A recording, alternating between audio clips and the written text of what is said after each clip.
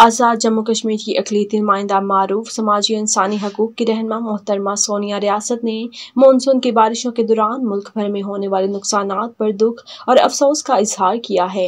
उन्होंने कहा है कि पाकिस्तान और आज़ाद कश्मीर की मसीही बरदरी बारिशों की वजह से होने वाले नुकसान से रंजीदा है और मुतासरीन के साथ हर मुमकिन तावन का यकीन दिलाती है। उन्होंने कहा है कि दुख और तकलीफ़ की इस घड़ी में मुतासरीन के साथ खड़े हैं और हमें इस बात का एहसास है कि घर होने वालों पर क्या गुजर रही होगी।